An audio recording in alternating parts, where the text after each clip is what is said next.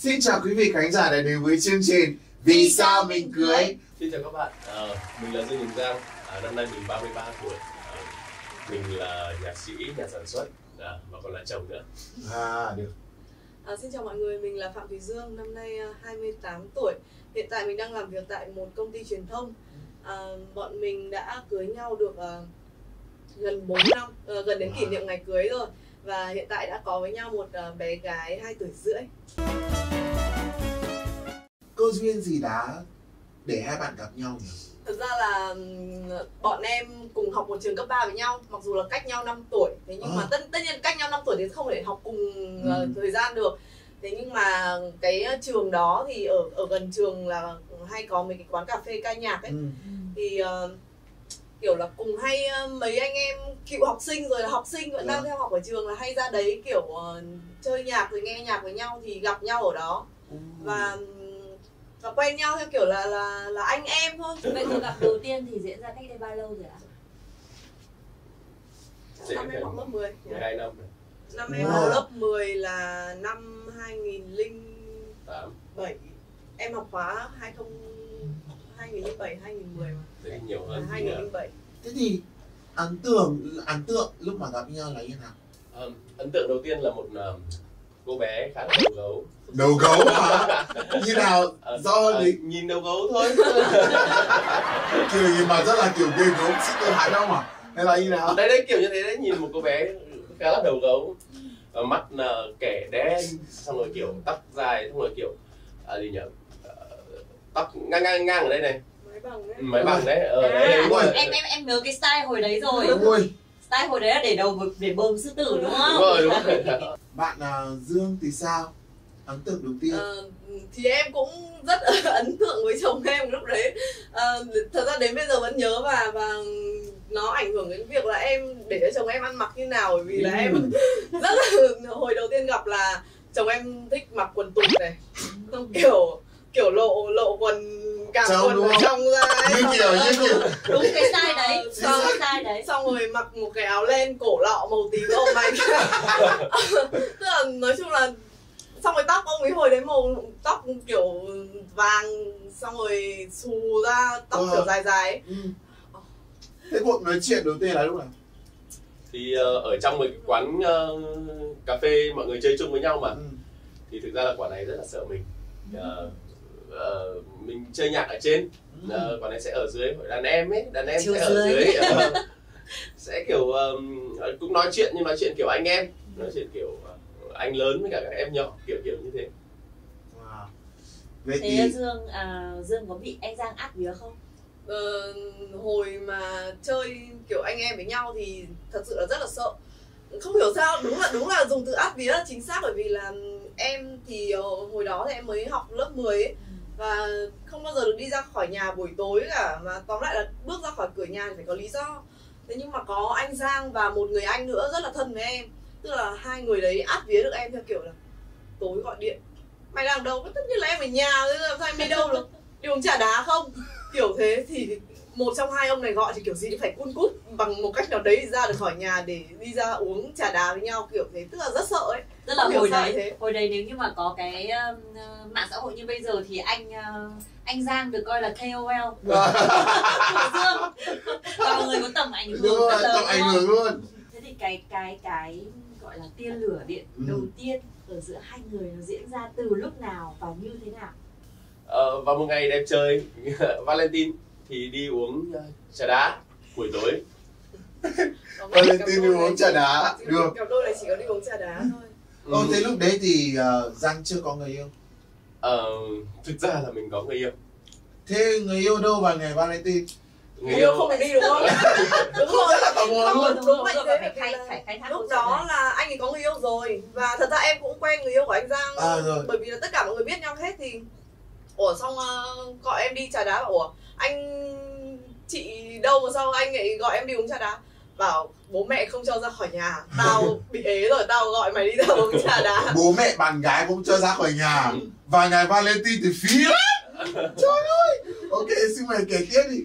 Đấy đại khái là như thế thì ờ, có lẽ đấy là cái điểm đáng nhớ đầu tiên kiểu ờ, nếu mà nói rằng có tiên lửa tiên lủng gì thì, thì nó Ừ. sẽ là tiên lửa ở cái khu vực như thế. Thì ờ, sau những ngày đấy thì bọn mình có đi với nhau nhiều hơn tần suất nhiều hơn so với trước đó. Ừ. và lúc đấy xin rất là tò mò lúc tỏ tình thì giang còn người yêu không? Đấy rất tò mò câu chuyện này. Đôi này thì ờ, không không có tỏ tình. Cái đôi này là đi chơi với nhau xong rồi kiểu ờ, bỗng dưng bỗng dưng bị cái đấy hoàn toàn tự nhiên nhá. Cái này hoàn toàn tự nhiên nhá. Là bỗng dưng ông này đi ra bà kia đi vào ờ, thế là hôn nhau. Em nhớ là hôm đó bọn em đi nhà sách ừ. cái nhà sách ở ở trên phố Đinh Lễ nó rất là hẹp Ừ. thì ờ, tức là lúc đấy cũng mỗi người một quyển sách đang xem để chọn sách cho mình thôi thì kiểu tự nhiên thế nào ngẩng lên thì đúng lúc đấy kiểu tự nhiên anh ấy quay ra thì đúng là đúng nghĩa là kiểu giật tự nhiên chạm vào nhau và xong kiểu, kiểu giật mình cũng chứ không hoàn toàn lúc đó cũng chưa phải yêu đương hay là như thế nào và cũng chưa ai nói với ai câu gì cả rồi là hôn luôn không không không không À. bạn là nó chỉ là một cái phút ngẫu nhiên vô tình À, chạm vào nhau rồi. như vậy thôi Rồi. chạm mặt chạm mặt luôn. Không môi chạm môi. Ôi ôi trời ơi bạn có gì. Lúc đấy bạn giang đang có người yêu. Thì câu chuyện với người yêu với đây có thể gọi là người yêu mới rồi. Thì câu chuyện người yêu cũ với người yêu mới thì nó ra sao? Mình chia tay là như thế nào? Đấy là một câu chuyện buồn. À, ok. Hay quá. Kể nghe nào. Bây giờ mà kể lại là chết đấy. Chết. Thực ra là mình đâu có thể xử lý được đâu. Ôi. Thực ra lúc đầu ấy ừ, thì ông đàn ông nào cũng thế thôi. Ừ. sẽ cố để cân bằng cả hai. Ừ. đầu tiên là như thế. Ừ. sau đó sau đó thì ờ, ờ, không ổn. Không ổn. Càng ngày càng không ổn.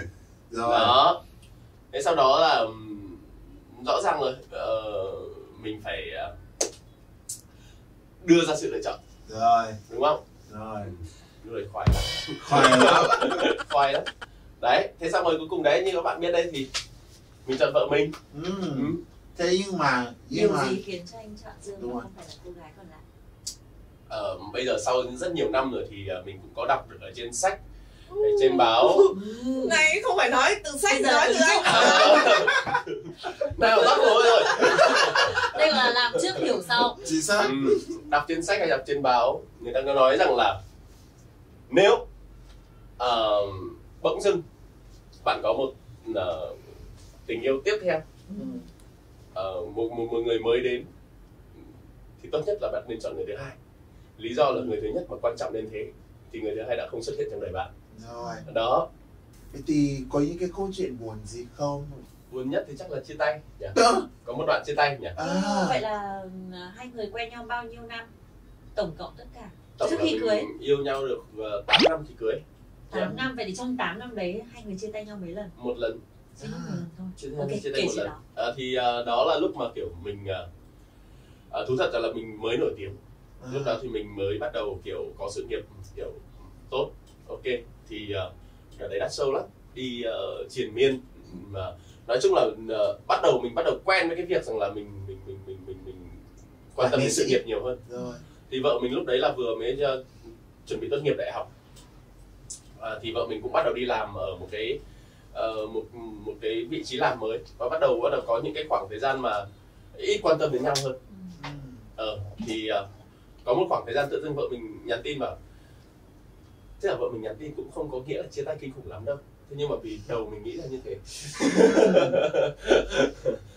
Thế là bọn mình chia tay nhau khoảng 2 tháng. Thực chất với em ở ở cái thời điểm đó thì uh, cũng như anh Giang nói là em ờ, thay đổi môi trường. Tức là em vừa mới học đại học xong và em đi làm. Thì cái công việc đấy của em là làm từ ờ, uh, 10 giờ sáng cho đến nhiều hôm là 10 giờ tối 11 giờ tối luôn. Thì tức là mình mình cảm thấy rất là mệt. Ngoài việc mình bị stress về công việc còn mình mình thấy mệt về mặt thể chất ấy. Còn anh Giang thì lúc đấy anh ấy đúng nghĩa là vẫn vẫn sinh hoạt theo kiểu rất nghệ sĩ ấy.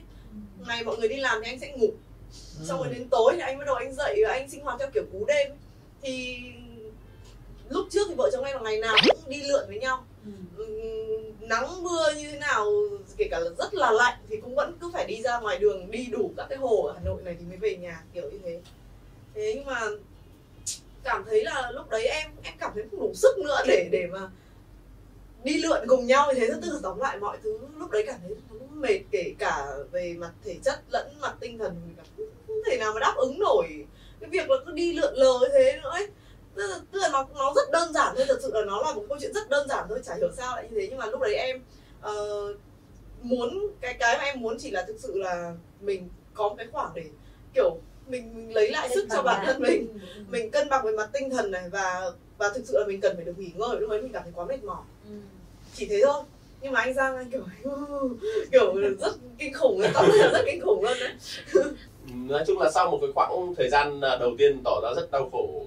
Đấy xong rồi um, ờ, sau quãng thời gian đấy thì mình uh, bắt đầu uh, lập kế hoạch tán lại. Quan điểm của mình rằng là um, không bỗng dưng mà bỏ. Đầu mình không không nghĩ như thế này không nghĩ như quả này không có quả nghỉ ngơi cái gì hết. Yêu ngơi chính xác. Vẩn đang yêu sung sức đúng không?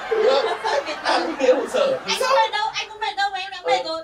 Thế là lần đầu lúc đầu mình nghĩ là à quả này có người khác. Ừ. ok bỏ đi. Ừ, quả này đang có quay. Quả này đang kiểu chán mình rồi. Không? Mình nghĩ các quả này các kiểu linh tinh linh tinh linh tinh linh tinh. Nhiều lắm nhiều thứ lắm mà đại hội quân sự bên mình rất nhiều. Anh em nào cũng tỏ ra muốn chia sẻ. Thật ra là tức là đấy như anh ấy nói là anh ấy nghĩ ra đủ các thứ lý do là tại làm sao mà lại chia tay và anh ấy ờ, nhắn tin rồi này nó tóm lại em thấy em chỉ nhớ em không nhớ rõ là đã nhắn những cái gì nhưng em chỉ nhớ là lúc ấy nhận được tin nhắn của anh ấy, em cảm thấy rất là mệt. Còn cái việc anh Giang nói là anh ấy tán lại và bọn em quay lại với nhau do việc anh tán lại em nghĩ là không đúng Ờ. chỉ chẳng qua là đến lúc đấy em cảm thấy em nghỉ đủ rồi. Thế thôi. Đại khái để ai là người vấn à, cũng đua đòi theo người ta. Hôm đấy là ừm, em đi làm thì hồi đấy em đi làm ở rất ở xa thì anh Giang ờ, hôm đấy tự nhiên lại đòi đưa vợ đi làm. Ừ. thì xong rồi ờ, chiều đến ông ấy ngồi thất thểu ở cửa công ty xong ông ôm theo một cái nhẫn. Ừ. ông anh mua nhẫn làm gì? Kiểu nó nghe thì nó phải hơi nhạt nhẽo mà cũng có cái thú vị của nó là trời Hay thật. thế. thì bạn Dương có gì gọi là ảnh hưởng tới sự nghiệp không? thực ra là có chứ bởi vì là trước khi ờ, tức là bọn em khi mà bọn em ờ, thậm chí là chơi yêu nhau ấy tức là lúc đấy vẫn chơi với nhau thì anh Giang anh ấy học thanh nhạc chứ không phải là cái chuyên ngành đào tạo chính của anh ấy là để sáng tác thế cho nên là ờ, anh ấy cũng tham gia các cái cuộc thi hát. Thế nhưng ừm, tức là kiểu không có duyên với cái nghề đấy thôi em nghĩ thế. Bởi vì là mặc dù anh Giang luôn luôn được đánh giá là kiểu thí sinh mạnh thế này nọ kia của các cuộc thi nhưng mà anh ấy sẽ luôn không đi được vào sâu của các vòng trong của các cuộc thi đấy. Thì ừm, lúc đó anh ấy có cái ờ, giải thưởng đầu tiên ở trên chương trình bài hát Việt. Thì ờ, là chương trình dành cho các nhạc sĩ thì em có nói với anh Giang ở cái thời, thời điểm đấy là em nghĩ anh làm nhạc sĩ hát hay thì sẽ ok hơn là làm ca sĩ đấy. Thì lúc đấy anh ấy dỗi rồi anh tự ái luôn. Bởi vì là rõ ràng tao học làm ca sĩ mày bảo tao đi làm nhạc sĩ thế thì chẳng khác gì mày bảo tao là hát không hay à. Kiểu như thế là bởi vì anh anh tự ái. Thì đấy là cái tự ái nghề nghiệp thôi. Thế nhưng mà rõ ràng bây giờ anh Giang đang thành công ở cương vị là một nhạc sĩ Tức là vợ mình đã nhìn thấy rất là rõ cái định Ờ, hướng tốt nhất cho và, mình rồi. và lúc trước đấy khi mà anh ấy chưa hướng hẳn theo cái con đường này thì ờ, cũng loay hoay rất nhiều thời gian. Và cái việc mà, mà mình đi thi xong mình trượt ấy, thì rõ ràng là anh ấy sẽ ờ, Bị ảnh hưởng tâm lý. bị ảnh hưởng rất nhiều về tâm lý. Và khi ở ở bên cạnh anh ấy cái thời điểm đấy em cũng cảm thấy rất là nặng nề. Nói câu gì cũng thỉnh thừa hết. Ừ. mà không nói thì lại thành thiếu. Không nói thì lại thành kiểu mày không an ủi động viên người yêu mày nhưng mà nếu mà nói thì cũng nói chung câu gì cũng cũng rất dễ là có, có thể va vào chỗ này chỗ khác làm cho người ta tổn thương. Đấy còn cái việc đến lúc anh ấy đã xác định anh làm nhạc sĩ rồi thì ừm, cũng như bây giờ có thể như ca sĩ mọi người thấy là ca sĩ nếu mà nổi tiếng thì ờ, đi show rất là nhiều rồi ca sĩ rất là cao thì họ rất là giàu nhưng nhạc sĩ thì họ cũng chỉ có cái chi phí gọi là khi mà bán cái ca khúc đấy cho ca sĩ thôi Ừ. thế nên là không phải ở cái thời điểm đầu tiên mà bọn em đã có thể ok ngay về cái mặt sự nghiệp lẫn kinh tế Ừ. nhưng mà nói chung là vẫn cùng nhau đi qua tất cả những cái giai đoạn đấy và đến bây giờ thì cũng ổn định và vẫn đủ tiền trả đúng không và vẫn đủ xăng để chạy quanh các các phòng Đúng rồi. hồi wow. xưa thì đấy hạnh phúc là chỉ chỉ có cần một bình xăng đầy thôi. Đấy rồi bây giờ thì ờ, ok hơn rất nhiều rồi. Nhau kể ra ba tật xấu của đối phương. Ba tật xấu của đối phương. Quả này cực kỳ chi tiết. Quả này ờ, ờ, cực kỳ chi tiết theo cái dạng là cái này ở chỗ này cái kia ở chỗ kia mà nó chỉ là chi tiết thôi nó không cần thiết phải là cái gì nhưng nó là chi tiết. Tại để là nếu mà kể cả cái bàn này nó lộn xộn nhưng nó phải lộn xộn theo cách chi tiết của bạn ấy. Không phải là chi tiết là ngăn nắp. Chưa này chưa. Cái này cái này là giống mình rồi. Ờ. Hai nhá. Là bạn này nhăn nhó. Yên nhớ là yên nhăn là nhó nhiều mặt lúc nào nhăn nhó à. mà lúc nào ngầu ăn phở cũng ngầu ấy. Nhăn nhó. Cái thứ ba nữa là quả này kiểu hay bê việc về nhà ấy, bê việc công ty về nhà ấy. Ừm. đấy thời gian đã dành đã ít rồi xong bây giờ lại còn ít hơn kiểu như thế tại như thế, như thế. phần dương bây giờ đấy như em chia sẻ em làm việc ở công ty truyền thông anh chị em làm ở agency đều biết Ừ, ừ, ừ. Ừ, mà đặc biệt là em làm ở vị trí level cao nữa là làm việc giữa khách hàng rồi làm việc giữa KOL thế cho nên là nhiều khi ờ, không thể nói là em chỉ làm từ 9 giờ sáng đến 6 giờ chiều hết việc về nhà là em dừng được bởi vì ví dụ như là buổi tối các bạn KOL phải post bài Ừ. các bạn ấy phải livestream mình phải là người mình phải là người theo sát follow tất cả mọi cái việc đấy để để mọi thứ nó xong thì mới là giờ mình được nghỉ. Hoặc là ờ, nhiều khi là bây giờ book bạn KOL bạn ấy post bài bạn phải chụp cái hình với sản phẩm. Ừ nhiều khi bạn đi diễn đến 12 giờ đêm bạn mới về và cái lúc đấy bạn chụp hình và bạn muốn mình trách ngay cho bạn ấy thì lúc đấy cũng vẫn phải làm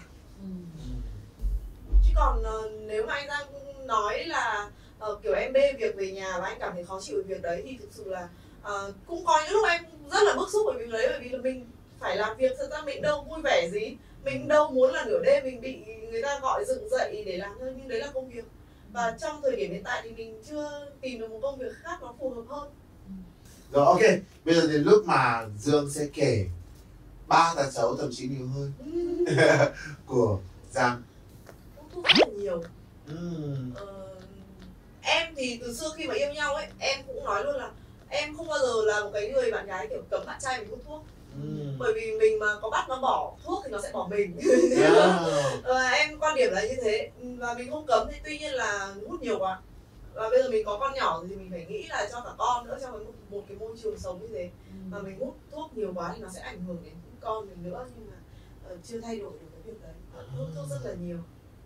Đấy với cả một cái nữa là đấy bởi vì em mắc bệnh chi tiết. Ừ. nên là bừa là em không chịu được.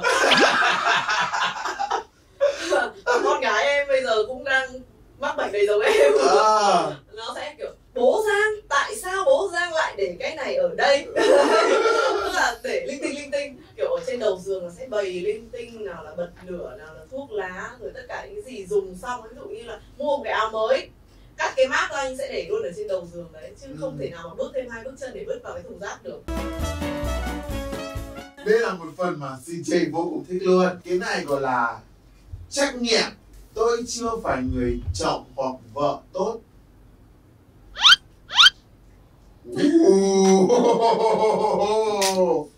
Dương có biết là mình chưa phải là một người vợ tốt ở điểm nào đó ở điểm là em ờ, hay cằn nhằn này Ừ. em hay nhăn nhó này rồi Ờ, và không không không thể là lúc nào cũng vui vẻ với Ừ. chồng với con thì em nghĩ là em Rồi. chưa tốt ở cái điểm đấy Rồi và em có công nhận với câu trả lời của chồng không? Đã là chồng tốt chưa? em nghĩ là nếu như mà tự thấy mình tốt rồi ấy, thấy mình hoàn hảo rồi ấy, thì đấy chính là lúc mà mối quan hệ nó có vấn đề đấy Thế còn anh Giang có công nhận với câu trả lời của của Dương không? ừ, đúng mình công nhận ờ, nhưng mà mình thấy rằng là để mà xét trên phạm tốt ờ, phạm trù một người chồng ấy thì mình ok mà Ok. nếu mà, nếu mà nhìn rộng ra là khác nhưng nếu mà một người chồng tốt thì mình cảm thấy mình tốt mà ok Một người chồng rất là một người chồng không tốt. À, Ok, cảm ơn hai bạn. Được. Ok. Ok, và đây là câu hỏi thứ hai. Đã có lúc tôi muốn từ bỏ mối quan hệ này. Ờ, một lần chia tay thôi nhưng mà suy nghĩ về việc này thì chắc chắn là có vì trong một mối quan hệ không thể nào lúc nào nó cũng tiến đi lên được nhưng cái tiến đi lên chắc chắn là nó sẽ đến một thời điểm đó nó sẽ chết. Ừ. đúng không nó phải có một hình xin này Đúng qua rồi, có đi lên xuống đúng không? Thì chắc chắn nó sẽ có cái việc này. Việc này thì không chia sẻ nhưng có. À, đó. Thì trong suốt 12 năm đấy có bao giờ Dương cảm nhận được khi chồng đang có những cái rung động này không? Ờ, thực sự là để mà nói là em thì em luôn luôn nghĩ là nếu mà đàn ông họ đã muốn giấu mình ấy, Ừ. thì họ có nhiều cách để giấu còn mình ờ, phụ nữ hay có cái câu là mắt không thấy thì tim không đau Ừ. em không có nhu cầu để tìm hiểu cái điều này và em tin cho đến lúc nào mà anh cảm thấy là anh tự vạch thực ra một cái ranh giới và đừng đừng bước qua cái ranh giới đấy. Chứ còn em thuộc dạng cũng gây gớm như chồng em bảo lần đầu tiên gặp nhìn em khá là đầu gấu ấy. Bởi vì tính tính em cũng cũng là một cái người phụ nữ rất là gây gớm đừng để xảy ra những cái gì mà để em phải gây gớm. Ừ. để yên cho em yên để yên cho em được yên ok. Hãy nói câu gì lãng mạn à, mình rất muốn nói. không chơi được nữa Ôi trời Chuẩn sướng. mình à, mình nói là mình làm body language vậy Wow, xin cảm ơn quý vị thân mến đã theo dõi chương trình Vì sao mình cười và chúng ta sẽ gặp nhau vào số tiếp theo. Xin cảm ơn và hẹn gặp lại. về bản thân của mình Em tên là Phan Bá Quang, sinh năm 1995, quê quán Hà Tĩnh. Hiện tại đang sinh sống làm việc tại à, thành phố Thủ Đức. ừ. Thủ, thành phố Thủ Đức mình ở đâu khu khúc nào À, 41 Lam Sơn, ừ. thành phố Thủ Đức. Ừ. rồi tiếp tục Hiện tại em nghề gì? đang à, làm à, nhân viên sửa chữa xe, làm tư nhân. ừ. là tiệm sửa chữa xe là ngay cái chỗ mà em em mới vừa đọc địa chỉ hả Dạ, ừ. rồi thu nhập mình ổn không ờ, Quang? Thu nhập em cũng ổn. khoảng bao nhiêu? Mình cứ cụ thể đi em. Mình cứ ở đây là cái buổi này thì em cứ chủ động em chia sẻ Lương, ha. à, lương thu nhập em à, bình quân một tháng là 10 triệu. ừ. rồi điểm mạnh điểm yếu của mình tình trường của mình là gì? Mình cứ chia sẻ ha. Điểm điểm mạnh của em là thích à, nấu ăn vì vui vẻ hòa đồng ừ. còn à, điểm yếu thì à, bút nhát ít, ít nói chuyện Ừ. tình à, tình trường thì em chưa trải qua mối tình nào cả chưa có để ý ai chưa có rung động ai luôn ạ đúng rồi tính tính chất là do công việc làm thời gian ít, ít khi à, đi chơi đâu nên mình toàn dành thời gian làm thì không để ý đến ai cả ừ. Rồi. Thường là em làm từ khung giờ nào tới khung giờ nào mà em nói em không có thời gian? Em thì à, thường thường làm à, 7 giờ sáng đến à, 8 giờ tối. Ừ. rồi từ 8 giờ tối đến lúc đi ngủ là ở nhà luôn không đi đâu hết. Ăn uống xong về phòng nằm bấm điện thoại thì đi ngủ. Ừ. rồi rồi ai đăng ký cho em tham gia chương trình này? Em đăng ký. Ừ. tại sao em đăng ký bởi vì mình cũng à, cũng thấy cảm giác nó cũng nhiều tuổi rồi mình cũng muốn có người đồng hành ừ. nên mình đăng ký chương trình mà trước giờ em có từng thích ai chưa hồi xưa đi học thì cũng khó thích mà sau này tính chất ngồi nghiệp một nơi thôi Em vào trong thành phố Hồ Chí Minh lâu chưa? em vào trong này à, được à, 15 năm rồi 15 năm hả? Dạ. Là vào từ lúc 12 tuổi đến bây giờ đó hả? Dạ. Vào đấy là lúc mình vào đây với ai? em vào một mình em hồi đó em vào đây đi lập nghiệp đi làm làm ăn sớm 12 tuổi thì vào đây ai nhận em làm? à, nó cũng có người quen trong này thì uh, xin chưa học nghề sửa chữa xe tới giờ À là đi học nghề từ năm 12 tuổi dạ. Là bây giờ là em đang làm là em đi làm thợ cho người ta hay là của em? Em đi làm thuê cho người ta thôi Làm thuê cho người ta có ý định tương lai là sắp tới là mở tiệm của mình không? dạ em đang có ý định à, sắp tới mở tiệm Ừ. Có nhiều vốn chưa? muốn được chơi nhiều gì Ừ. Được khoảng bao nhiêu rồi?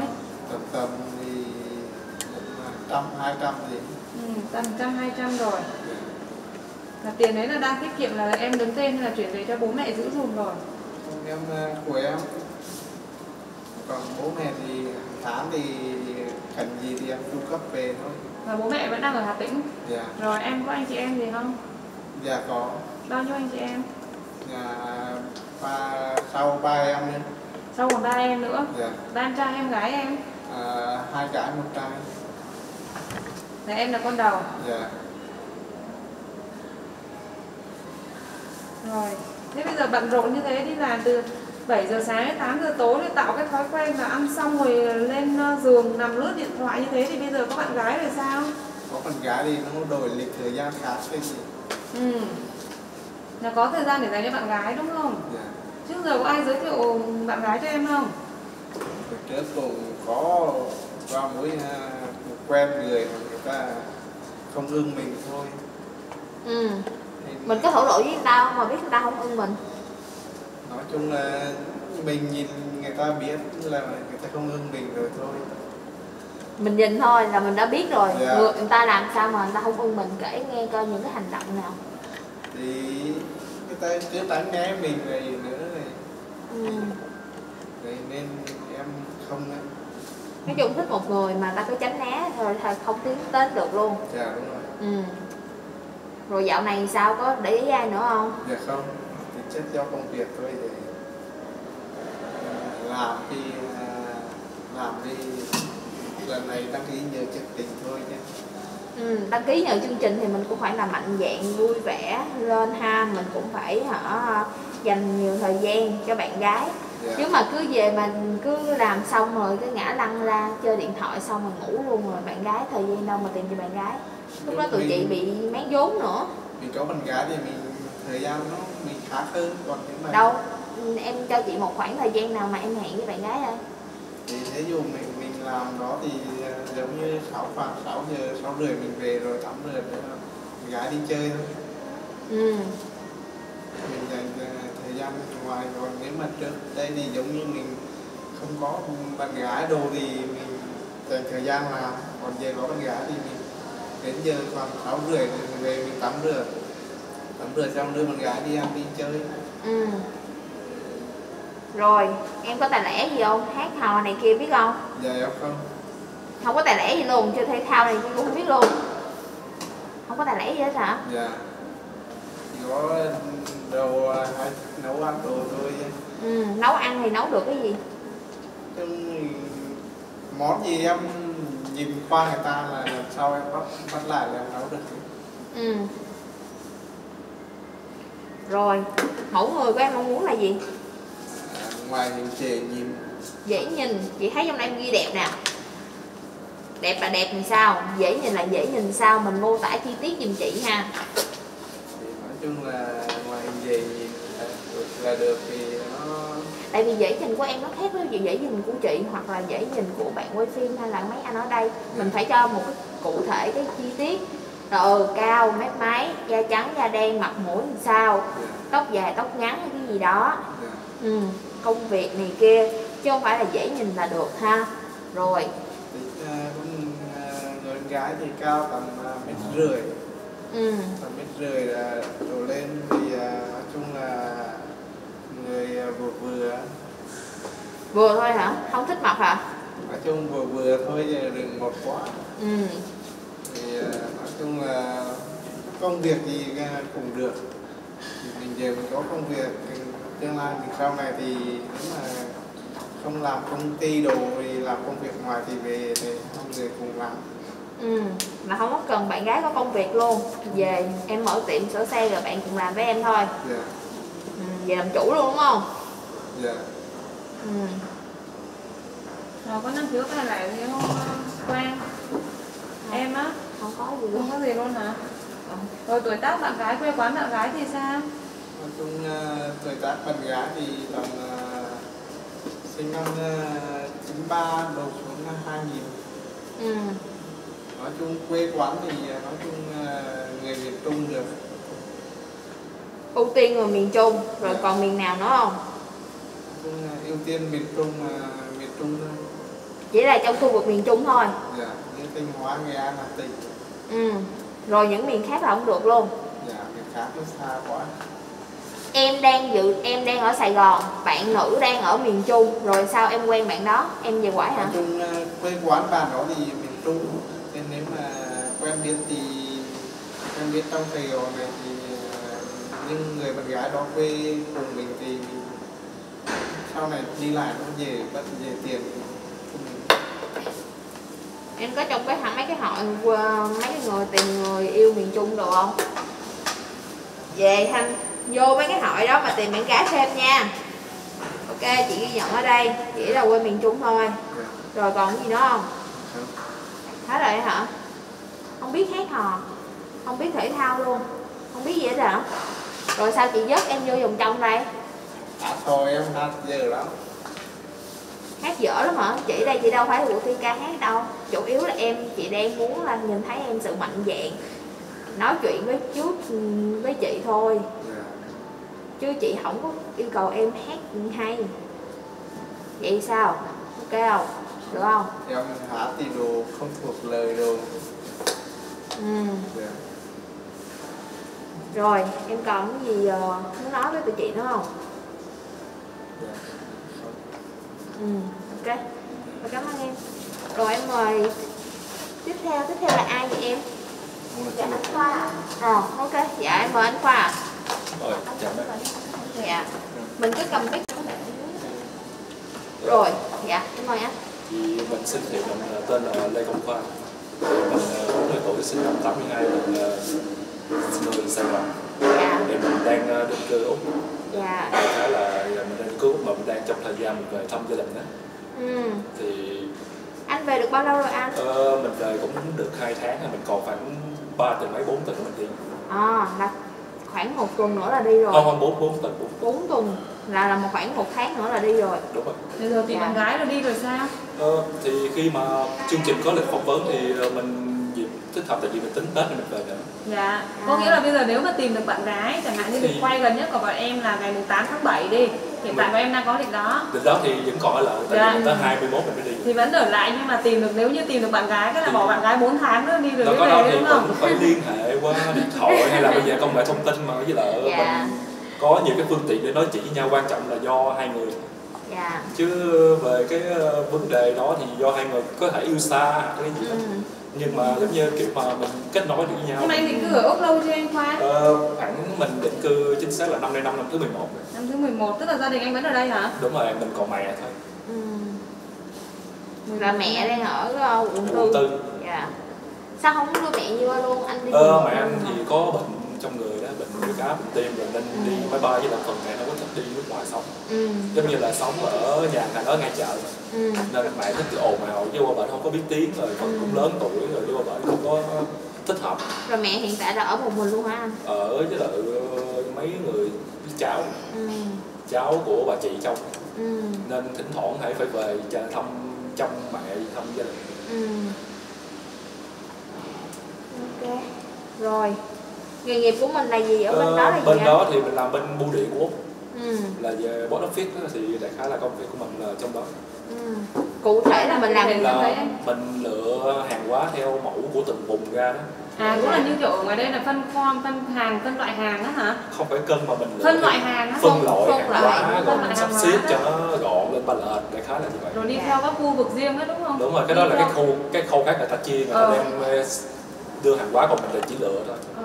Là bởi vì đi bệnh là mỗi cái khâu khác nhau chứ không phải giống như bên Việt Nam Ờ. Anh làm ở đây lâu chưa? ờ, mình làm khoảng gần được một năm Gần một năm. Ủa chứ nói cho em làm có việc gì? trước đó thì mình làm về công việc xây nhà làm cho chủ người Việt thôi nhưng sau này mình vô cái công ty đó của tay của chính phủ Dạ. ừ. Hiện tại anh sống bên Úc với ai ạ? ờ, mình thì sống có một mình thôi là nhà cửa mình bên úc ổn định hết chưa anh? Thì uh, nói thẳng ra thì ờ, cái thì tới giờ thì cái vấn đề nhà cửa thì mình mua mình mua không có nổi đâu. Cái đó là cái cái thật sự là sự thật của Ừ, mình ừ, ừ. cái muốn thì tại vì mình thật sự cũng thuê nhà cái đó là sự thật mình không có gì phải giấu giếm hết. Dạ. Vậy tại vì mình rất là tự nhiên có dịp nói cái đó để mình Đúng dễ rồi. lựa chọn dạ đúng rồi.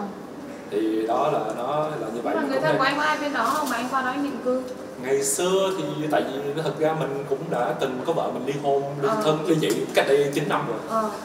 thì đại khái là vậy ngày xưa vợ vợ mình bảo lãnh rồi à rồi ờ, mình đã ly dị cách đây 9 năm rồi Ừ. rồi với lại tại vì mình thấy tới cái tuổi của mình cũng lớn rồi 40 tuổi mình nghĩ cũng cái cần bước tiếp một bước nữa để có một cái mang ổn Ừ.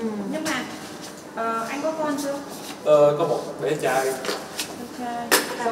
thì mẹ ở với mẹ thì mình chỉ có trao tiền gọi là tiền mà nuôi con á gọi là ở bển gọi là vợ anh cũng người Việt luôn hả? Vợ mình á vợ mình là sinh đẻ ở bển. Ờ, nhưng mà gốc nhưng Việt. người gốc việt thì đại khá là người sao quen được nhau rồi qua bên đó? Thì cái cô đó thì về đây thì mình biết nhau tại vì mình cũng biết tiếng Anh rồi hai Ừ. người cũng nói chuyện qua lại rồi. Sau này thì chắc là do có thể là do cái văn hóa nó khác nhau nên sinh ra những cái mâu thuẫn đó mà. dạ nhưng mà cho em hỏi thêm như trước khi anh qua úc anh định cư thì anh làm công việc gì ở ờ, Nam? trước khi mình ờ, qua úc mình cư mình làm công việc ở trong bên Nguyễn Kim á mình làm sale mà ờ. Ừ. bên Nguyễn Kim điện máy nhất. Nguyễn Kim. Đúng máy Nguyễn Kim Thủ Đức này luôn không hả? không ngay chỗ quận nhất cái chỗ bên uh, Trần Đạo dạ. Nguyên cái Nguyễn Kim đó. Cái đó là cái trung tâm ngày xưa nhưng mà tương lai sau này anh có quay về Việt Nam không? Hay Có, định thì, lâu dài ờ, ở đó? mình tương lai thì mình tùy vô cái tình huống với cái thời gian hay là do cái hoàn cảnh gia đình mình như thế nào. Nhưng mà chắc chắn tới lớn hơn tí xíu mình chắc chắn sẽ về Việt Nam sống luôn có lẽ. dạ tại vì mình thích cái cảnh yên tĩnh chứ xíu bây giờ là không có ồn ào nữa. À, nói chung là muốn, muốn lâu dài lại về Việt Nam đúng không? Đúng đúng. Dạ. Tức là sau sau khi ly hôn là anh có quen thêm mối tình nào ờ, khác thì không? cũng có vài quen với vài thêm vài mối tình nhưng nó không đi tới đâu hết. Tại vì nhiều khi ờ, người ta có người thứ ba hay là những cái chuyện nó nó tế nhị chỉ là phần mình thấy không có hợp tính á. Chứ là mình càng lớn thì nên mình sống cái gì nó cũng có nguyên tắc. Ừ. mình cảm thấy có nhiều cô tánh trẻ con quá mình không có cảm thấy nó phù hợp nên mình cảm thấy dừng lúc đó thôi chứ mà không muốn đi sâu để mất công mai mốt ai cũng khổ. Ừ. dạ Nên- nên mình ờ, đại khái là như vậy thôi. Ừ. bây giờ anh muốn tìm mẫu bạn gái như thế nào? thì ờ, mẫu gái mình chọn thì cũng đơn giản thôi cũng không có cần phải đạt gì cũng bình quân nói chung là hiểu về cái lợi biết ờ, tôn trọng lẫn nhau là được rồi tại vì tới cái tuổi của mình mình không có đòi hỏi gì thêm được nhưng mà ví dụ như anh phải cho tụi em một cái cụ thể đi tụi em nhìn vào mắt thường được thì giống như là này. một cái cô gái bình thường thôi chiều cao thì không thành vấn đề tại vì đối với mình thì cái chiều cao đó, một mét rưỡi trở lên cũng không là vấn đề tại quan trọng là tính tình người ta tốt hay không thôi là Ừ. người ta biết suy nghĩ hay là đừng có trẻ con quá tại vì mình không có thích cái mẫu người trẻ con quá Ừ. tại vì cái đó đã không có phù hợp với mình người ta tuổi cũng ờ, đã từng ly hôn giống anh thì vẫn ok đúng không? Thì không có vấn đề gì. Thì Ừ. cũng bình thường thôi. Thì phụ nữ cái có chế độ mà từng ăn chơi cũng không thành vấn đề tại vì mình thích những cái người về tình trải đại khái là như vậy thôi. Ừ. anh cho em đó nhìn bằng mắt là anh biết anh thích người như thế nào đi. Ví dụ tại như- tánh mình dễ dàng lắm tánh mình nó không có giống như là yêu cầu cao mình chỉ là thấy là được em biết là được. rồi nhưng mà bây giờ là đến với chương trình thì nó sẽ có những cái lựa chọn thì Rồi. ừ, bên em muốn anh là sẽ có những cái lựa chọn để em còn biết là ừ gu anh như thế nào anh có thích một cái người ờ, ngôi sao hay là một cái ờ, bạn diễn viên ca sĩ nào không anh đó ở anh thì ờ, cũng không có thần tượng ai tại vì anh ở đó thì chưa anh chỉ có mẹ anh là thần tượng chứ không Ờ. thần tượng anh ừ. thì nói chung là vậy anh thì không có một cái gì gọi là cái phê bình nhưng cá nhân hay là về cách một cái người nào đó đại khái là tuổi tác của bạn gái thì sao Ờ, tuổi tác thì ờ, khoảng cỡ 25 cho tới ờ, 45 cũng được tại vì anh 43 thôi tại vì lớn anh hai ba tuổi cũng thành vấn đề. Ừ. anh ờ, đại khái là như vậy. Dạ. Ừ. nhưng mà quen anh là phải yêu xa.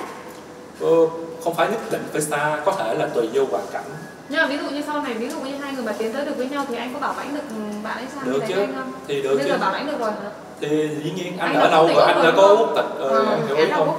giống như là bây giờ tùy vô cái hoàn cảnh coi người ta có muốn đi hay là người ta muốn ở lợ hay là tùy vô cái hoàn cảnh mình sắp xếp em hiểu ý không? Em giống như hiểu nhiều khi người ta không có những người người ta không muốn đi nữa. Không quan trọng là không phải? quan trọng là vấn đề là anh chỉ cần chốt cho tụi em một câu thôi là Ừ. anh có được thì cái đó mình bảo lãnh đi. người ta đi còn cái chuyện của người ta đấy là chuyện sau này tụi anh thương lượng với nhau. Thì đấy. Dạ còn thì bây giờ nói là do cái vấn đề thương lượng dạ thương lượng thì sau này tự hai người thương lượng. Tại vì cái chương trình bằng hẹn hò là tụi em chỉ tạo cái cơ duyên ban đầu cho mọi người gặp nhau thôi. Rồi rồi. Còn chắc gì là mọi người đã hẹn hò nhau sau chương trình. Đúng rồi đúng rồi. nhưng mà cái quan điểm của anh phải rõ ràng. Ok nếu anh em quen anh nếu em muốn theo anh anh sẵn sàng anh bảo lãnh cho em đi Rồi. cho mẹ con em đi ví dụ như thế chẳng hạn như cô đang có con chẳng hạn anh sẵn sàng anh bảo lãnh cho mẹ con em đi mình chỉ cần cái câu đó để người phụ nữ người ta cảm thấy rằng là à anh này quyết đoán anh này có chính kiến còn bây giờ mà anh lên lên mà sân khấu anh cứ tùy vào em các thứ là anh fail luôn anh anh hiểu em Dạ. anh hiểu em giống như cái kiểu đó mình không có đưa ra cái cái quyết đoán cái mình quyết định chính xác của mình còn vấn đề cô nói chung là em mình không có chốt được cái vấn đề đó Dạ. anh hiểu em nhưng mà giống như là anh nói tùy vô hoàn cảnh hai người Dạ. đó là như vậy á chứ anh cũng đâu có biết cái người ta như thế nào. Đúng rồi thì vấn đề là đấy chỉ thì cần biết em, là em nói thì anh hiểu ý. Dạ, ở góc độ anh thì anh ok anh chốt anh đi đó còn vấn đề là nếu mà em như thế nào thì em cứ nói cho anh biết để anh Rồi, rồi. sắp xếp. Thì đấy là việc của hai người sau này. Rồi rồi anh còn à, có điểm gì anh không thích ở bạn gái không ạ? Ờ, bạn gái thì hồi nãy mình có nói rồi thì đừng có trẻ con quá với lại đừng có mà sống cái kiểu ích kỷ quá. Mình thích cái con người mà có chính kiến đại khái là như vậy không? Ích kỷ là sao anh? Ờ, nhiều khi người ta sống người ta chỉ biết nghĩ cho cá nhân người ta hay là người ta vì một cái lợi ích nào đó người ta mới quen mình chẳng hạn. Ừ. tức là lợi dụng hoặc là cái thì, thì nói thì tới vậy là như vậy thôi chứ nói lợi dụng thì cũng hơi quá đáng tại vì anh đâu có gì đâu lợi dụng. Lợi dụng đi nước ngoài không không không cái đó thì ờ, tùy mỗi người mục đích rồi nên anh nói cái đó là mỗi tùy mỗi người cái mục đích cá nhân riêng thôi. Rồi. Ok anh rồi cảm ơn Anh- anh. Còn gì nữa anh có tài lẻ thôi gì không anh? Ờ thì mình có chơi thể thao là mình biết ca rồi nhưng mà- rồi anh cay giùm em xíu ha. Chơi thể thao chơi môn gì? Cái nào mình cũng chơi cũng được tại vì mình là dân ngày xưa chơi đá banh mà. Nên À. cái khuôn mặt mình đen rồi cũng chơi chơi đá banh. Rồi thể thao thì anh chơi được đá banh rồi gì nữa? Ờ, cái môn thể thao nào cũng biết chơi hết tại vì mình là dân nhưng mà em biết rồi Ờ, mà là, nói chung đi. là thể thao bơi lội hay là chạy bộ hay là nói chung là kể cả đây, thì nói chung hầu hết các môn thể thao cái môn nào mình chơi được cũng được ừ. hiện tại là anh chơi môn nào nhiều nhất ờ, đa phần là mình chơi đá banh nhiều nhất. Ừ ok. Rồi em mời anh hát một xíu ha. Bài nào cũng được ạ. Bài nào cũng được phải không dạ đúng rồi. Một xíu thôi. Ờ, thì ờ, mình ờ, ca thì nói chung thì cũng không có nhớ lời cho lắm nhưng mà khi có nhà có chữ không có biết ca tại vì lâu lâu quá cũng không có gần không có ca dạ. Thì ca thì biết ca chắc chắn biết ca nhưng mà Dạ. cái vấn đề giống như là mình chưa có lâu quá mình không có ca lại. Ừ, không sao cứ bình thường thôi anh mình cứ thể hiện tài năng của mình thôi. Bản thân mình thôi chứ em không có yêu cầu là hát hay hay là hát đúng nhịp hay gì đâu. Chưa thay đổi không khí thôi anh ơi. Ừ. vừa nãy nói chuyện vụ quá hay rồi em mời anh ha ờ, bây giờ tại vì ờ, mình ca thì nhạc buồn không mà chứ không có Trời, cái nhạc buồn cũng được luôn. nên ờ, cái nên cái đâm ra mình không có suy nghĩ được cái bài cụ thể đó. Bài gì cũng được anh bài tủ bài nào hay hát hay Ừ. thôi. Cái nào cũng được. Vui là chính anh thôi. Ờ, thì mình hát một đoạn của cái bài tàn cho ha tại vì mình chỉ có thích cái bài đó dạ ok. Ờ, giọt nước rơi hay giọt sầu rơi rơi lại vẫn tuôn không tình ta nát ta. Em cứ nói chung là mình hát được một đoạn thôi. Ừ. thì tại vì mình không có nhớ mặt chữ á, lâu quá mình cũng không có hát mình nên mình không có nhớ mặt chữ cho lắm. Rồi ok anh. Có yêu cầu gì của bạn gái nữa không anh? Ờ, quyền lợi đó nha không nói là mất quyền lợi đó không thì ờ, vậy thôi. Rồi. Thì ờ, nói anh về đủ rồi. Rồi, rồi ok cảm ơn anh Quang nha